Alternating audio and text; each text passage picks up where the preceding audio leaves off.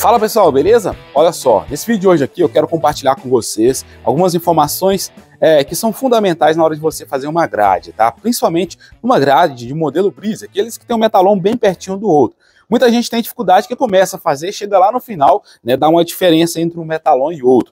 Neste projeto de hoje aqui, ó, a gente vai utilizar Metalon 2020, tá? E o desenho que a gente vai fazer dessa grade é esse que vocês estão vendo aqui, tá? Esse é o desenho feito no SketchUp, o cliente ele mandou para a gente, a gente vai fazer duas peças decorativas para o prédio dele. E veio desse jeito, quem dera se todo o projeto viesse né, todo feitinho assim em 3D, né? Fica muito mais fácil trabalhar. Mas e aí, esse cálculo aqui para dividir, você sabe fazer? Ou você já fez, mas tenta fazer de outras formas sem, sem ter um cálculo específico? É isso que eu quero mostrar aqui para vocês nesse vídeo de hoje. Para a gente fazer o preenchimento, vai ser com o mesmo material da moldura, aqueles metalon que eu mostrei para vocês.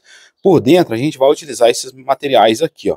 Esses metalon aqui já está tudo cortadinho para a gente poder montar a nossa grade, tá? Inclusive, pessoal, para você que trabalha com serralheria ou está iniciando, né, e precisa comprar os seus materiais e não sabe onde comprar, eu tenho aqui uma indicação para vocês, tá? Que é a Mestre Aço. Eu vou deixar na descrição desse vídeo aqui o link para vocês acessarem, aonde que vocês vão ter acesso a um site, a um e-commerce, onde que você compra o material pela internet ele chega aí até a sua casa. Então, aproveita essa oportunidade e também, ó, para você que é seguidor aqui do nosso canal, nós temos o cupom de desconto. Lá no carrinho de compra dentro do site da Mestre Aço, basta você digitar o cupom POX e você já vai ganhar um desconto para ser seguidor aqui do nosso canal. Bom, e para efetuar a marcação, eu uso essa chapinha aqui, ó.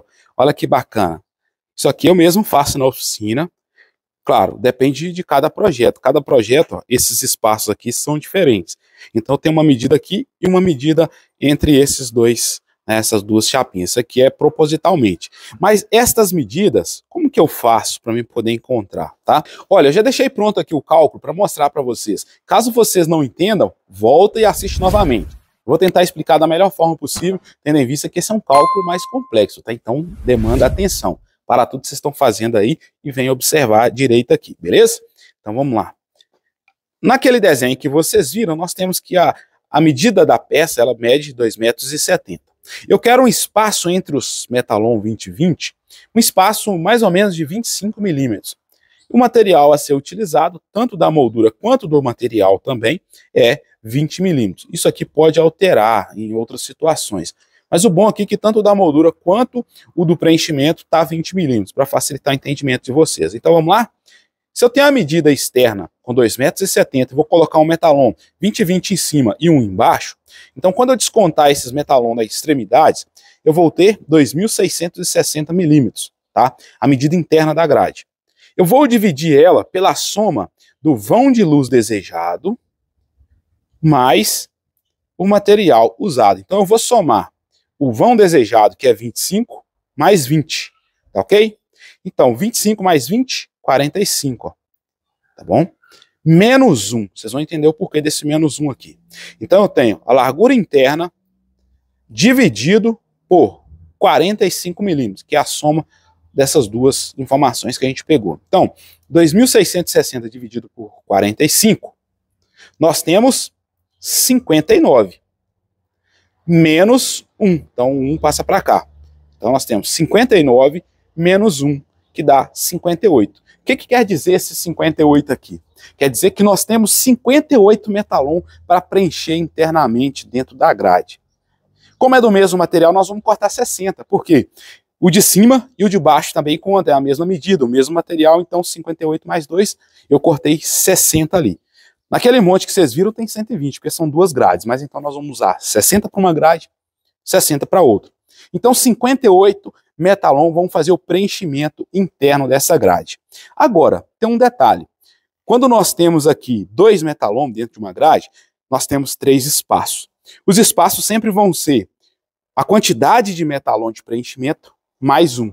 O vão, né, o espaço que a luz passa, o vão de luz, sempre vai ser um a mais, beleza?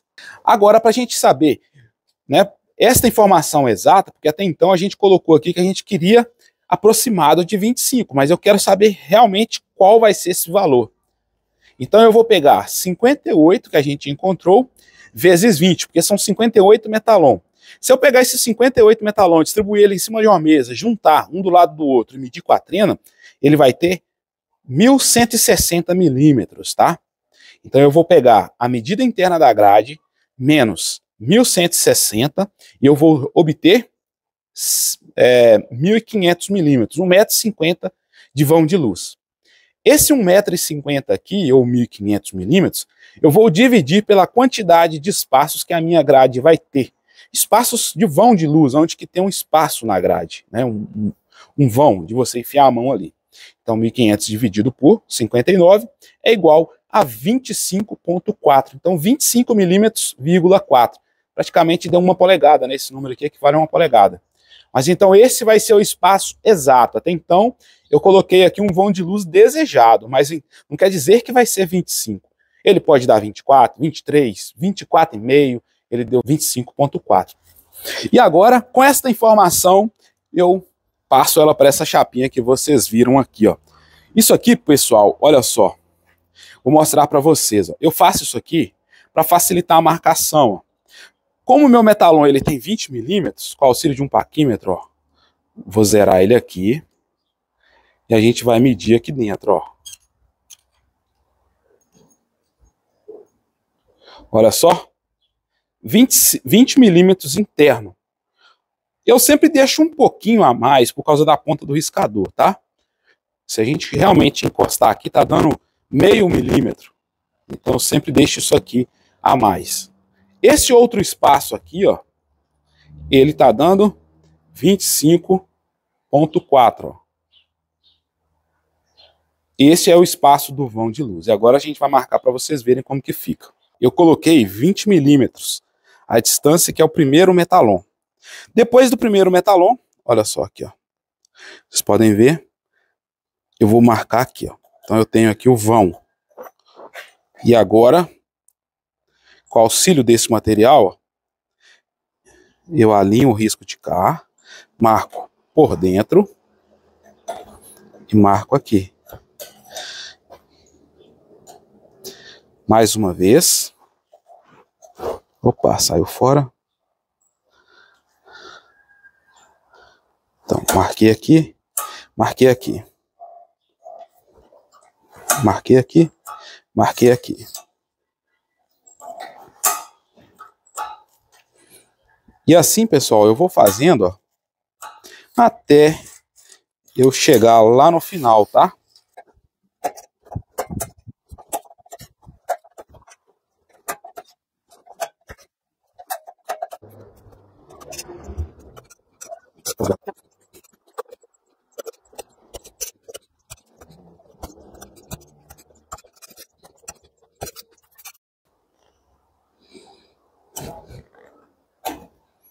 E agora, o último aqui, pessoal. Pronto, olha só. Deu diferença aqui de uns 1 um milímetro, meio milímetro máximo. Olha só a diferença aqui, ó. Vê se conseguem ver. Tá ótimo, né?